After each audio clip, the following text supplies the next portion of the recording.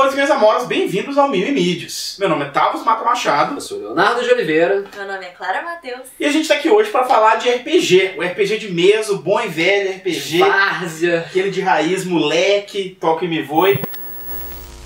E a gente vai falar de RPG porque foi uma sugestão do Carlos Vendramin, num vídeo nosso, e queria que a gente falasse um pouco, né, sobre RPG. E também a gente colocou, fez uma enquete no Instagram e os nossos seguidores escolheram que queriam que a gente falasse um pouco sobre né, a nossa relação. Ganhou É. de jogos de tabuleiro. É, foi contra jogos de tabuleiro. É, mas então o que a gente decidiu é falar um pouco, mais do que ficar discutindo muito o sistema ou as minúcias, falar um pouco da nossa experiência num nível mais pessoal, mais emocional, né? É, de como que o RPG construiu cada um de nós e como, né? E acho que antes de começar é legal comentar que esse canal não existiria sem RPG. Verdade. Eu e o Léo nos conhecemos jogando live action RPG. Que não tá tanto no tema, que a gente vai É. discutir mais RPG de mesa. Beleza. Mas convém lembrar que É a um gente... pouquinho mais hardcore, né? É. Assim, É, um, um nível além. assim. É, eu, eu nunca joguei live action RPG, mas eu não cresci na capital como eles. Eu, acho- eu duvido que na cidade onde eu cresci as pessoas jogassem Ia ter que ser a cidade RPG. inteira, né? caso. Não é Sacanagem. pequena assim também. Mas eu conheci RPG no ensino médio, ou no início do ensino médio, ou no final do ensino fundamental, eu não vou lembrar direito. E eu comecei a jogar RPG jogando DD. E todas as campanhas, longas campanhas significativas na minha vida de RPG foram DD, então assim, eu não tenho uma super vasta experiência com o sistema, mas eu me diverti muito nessa vida já jogando RPG. Não, eu acho que assim, é engraçado ver assim, que o D&D, D&D, querendo ou não, ele, ele é um pouco o pivô de todo mundo, assim, É. né? Porque é, é o... Você fala RPG, é isso que, que, o, que o estereótipo é DD, não, não, não dá pra fingir que não é. A gente jogou D&D junto, A né? gente jogou, eu mestrei uma aventura pra Clara e mais alguns amigos nossos. É, a gente se conheceu na faculdade e aí logo no início da faculdade a gente teve uma campanha bem longa até. Bom, é, a minha história, assim, ela, ela começa de uma forma um pouco mais engateando, pra depois começar a andar e aí pegar umas coisas mais hardcore, umas drogas mais pesadas, tipo né? live action. Tipo live action, que inclusive toma muito mais O tempo. live action é tipo o crack do RPG. Sabe qual que é o negócio? Olha só. Eu comecei com um bom e velho 3DT, amigável, só D6. Você não tem muito, nem dados novos, diferentes pra você não arriscar demais. 3DT, inclusive, foi uma invenção brasileira da revista Dragão, né? Sim, Foi uma senhor. revista É. brasileira que inventou o sistema e foi um sistema muito popular no Brasil. Não, eu acredito que tem tempo. muito, muito a ver com essa história de tornar acessível, né? É, Essa- total. E outra total. coisa também, uma, uma boa legal, que teve um monte de polêmica também no nosso. Enquanto a gente crescia, com RPG. Foi proibido na escola também. Os jogos, médica, etc., que não chega a ser da mesma categoria, mas permeia ali a, a- o universo, né? Tudo proibido. Mas, gente, ó, só fez bem, né? Vamos começar. Pra quem não sabe, isso surgiu por causa de um caso super polêmico, né? Pra nossa geração, é um caso que todo mundo lembra, É, mas não sei se quem é, tá assistindo aí chegou a acompanhar isso. Foi o caso de Mariana, né? O, o histórico caso de Mariana, que foi. Fora de Minas, será? Deve ter repercussão. Eu acho que teve. Mas, enfim, comecei com 3DT, depois passei por Dungeons and Dragons, onde eu vivi a maior parte da, da, da minha vida do do RPG, assim, muitas, a maior parte das vezes como jogador, não mestrando, já mestrei algumas vezes. Mas aí, que nem o Tavos falou muito bem, entram as drogas mais pesadas. Aí começou com live action, e com live action, que a gente tava trabalhando aqui, que é o Graal, a gente construiu juntos o manual do jogador. Ah, essa era da aí? equipe redatora, né? Que aí um outro nível de. Oh, muito tempo consumido da Você minha foi Arauto, vida. não foi? Fui Arauto. Gente, se eu quero a galera do Grau aí, saudades. É, e você tava falando assim, ah, mano, que coisa mais pai aí, né, a galera jogando espadinha. Oh, mas foi muito legal, assim, né? Muita conversa, uma época com muitas boas lembranças, assim, né? Hoje não jogo mais, mas, poxa, era muito legal. Era, era divertidaço, era muito bom, era muito bom. Tem uma coisa que eu aprecio muito, é, talvez vai soar meio estranho, mas assim, é real. É que quando a gente vai encontrar com amigos, é, normalmente você tem tipo duas opções. Ou você vai sair pra comer ou você vai sair pra beber. E eu acho muito É legal porque a gente é de todo- Belo Horizonte aqui não tem praia. Pra quem mora no é, a litoral, na a vida fora, fora da praia é assim, entendeu? Mas assim, o normal é você sair pra comer ou pra beber. E eu aprecio muito todo tipo de rolê que não seja esse padrão de sempre, É. sabe? E eu acho que o RPG é uma coisa muito legal. É. Não é que eu não gosto de sair pra beber e pra comer, eu acho incrível. Mas é muito legal fazer coisas diferentes às vezes. Então É. pra mim o RPG tá nesse Entra nisso, é verdade.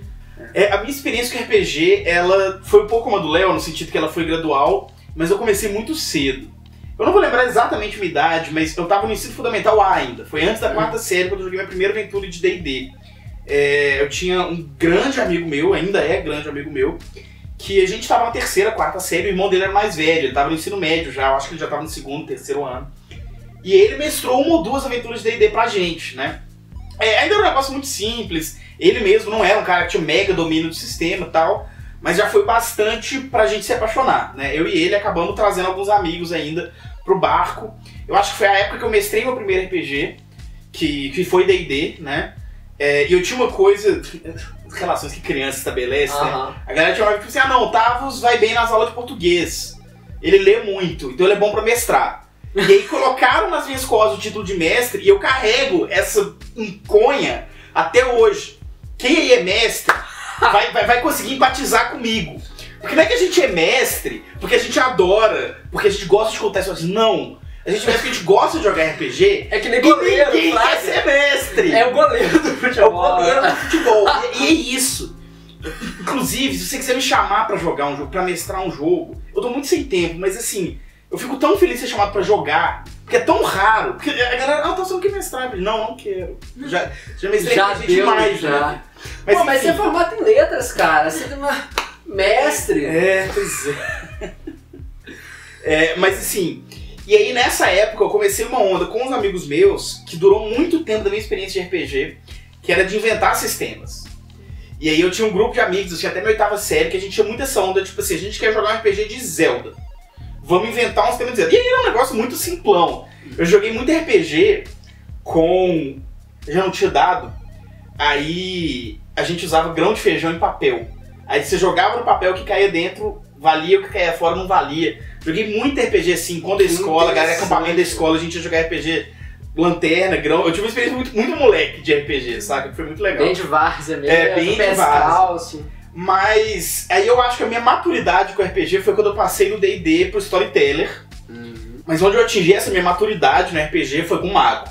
E até hoje é o meu, meu cenário e sistema favorito, assim. Mago Ascensão, eu sou apaixonado. Recentemente saiu o Mago 20, que é edição comemorativa de 20 anos, que eu acho o melhor livro de RPG que eu já li. O negócio é, é uma obra de literatura mesmo, e é um sistema que é a cara dos anos 90, né? Enquanto o D&D é um sistema muito anos 80, e nessa época de Stranger Things a gente lembra muito né, dos meninos jogando D&D, é, Storyteller é, um, é, a cara dos anos 90, porque é uma coisa, é aquela coisa cyberpunk, decadente, meio pós-apocalíptica, uhum. né?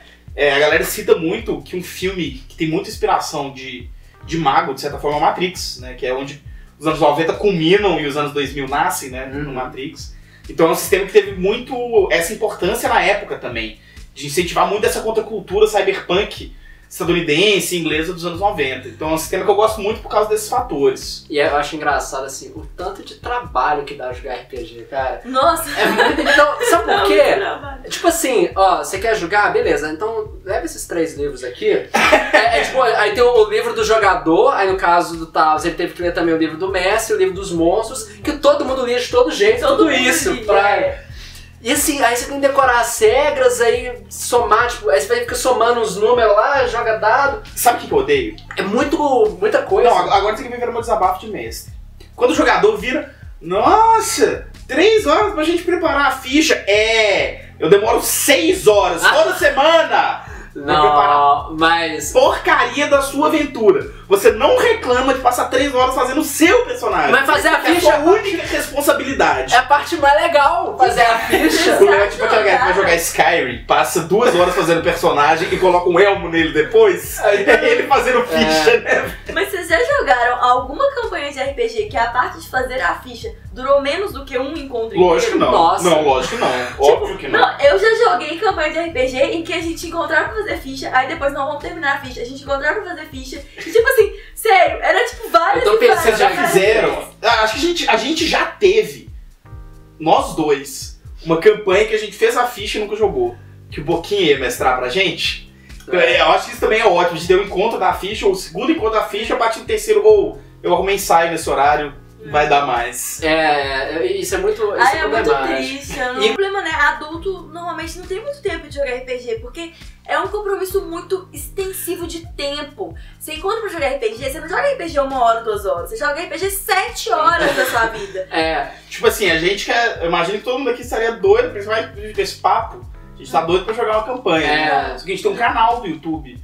Sabe? Como que a gente vai jogar RPG? Não muito. dá. já tem sabe? encontro quinzenal. Não, mas a é. gente vai jogar. Não, vamos, mas assim, Nós vai ser vamos. nas férias. É, vai ser nas férias. Entendeu? Então são essas coisas. Tem um amigo nosso, o Faelzinho, Uhum. inclusive, provavelmente tá vendo esse vídeo. é, que ele fala muito isso. Tipo, eu lembro de época que eu jogava seis mesas de RPG na mesma época. Mas aí ele fala, pra mim, a definição de ser adulto, atingir a vida adulta, é não poder jogar RPG na terça-noite. Isso é ser É, adulto, é sabe? Que tinha, às vezes tinha essas mesas nos dias nada a ver, tipo É. assim, segunda-feira, a gente vai virar a noite jogando RPG. É, tomando Guaraná, comendo pizza, né? É, não, e era tipo assim, de boa. Porque RPG é isso, né? Tipo, aquela imersão gigantesca naquele mundo por muitas e muitas e muitas horas. Uma coisa que, é- que eu acho engraçada assim, é o quanto que você fazer a ficha, a gente tava falando, é parecido com um projeto de pesquisa quase. Porque você tá com vários É, livros abertos. exatamente. Aí fulano fala assim, ô, quando você acabar aí, velho, me empresta o livro aí que eu quero dar uma lida nos negócios aqui rapidão. Os não me E tira é uma isso, dúvida assim, aqui. é. Como é que eu faço com, esse, com essa espada? Eu posso usar esse escudo sendo dessa classe? Eu Nossa. posso fazer. Vocês Sabe, faziam tipo, gloss- é, referência, tipo assim. É, Você tinha assim, ó, página É, tal, página itens. tal. Aí toda vez Sim, você é precisava isso. ficar procurando toda vez. Aí é Nossa. foda. é- é Não, mas difícil. inclusive façam. Isso É. aí você agiliza qualquer aventura, Não, velho. especialmente coisa de magia, é muito importante. É. Sim, funciona assim, queima a parede e dá pra passar. ou, É, tipo, não, é. isso não Discussões com o mestre, é, É, isso. é é. isso, pra enfrentar o mestre, lotando É. as referências Mas é, vai ter uma coisa dessa idade. Se eu jogasse RPG, eu não ia ficar enfrentando o mestre. Pô, eu acho legal. É, É, não, mas eu acho que- eu acho que é um eu, pouco- eu enfrento todo mundo, É, né?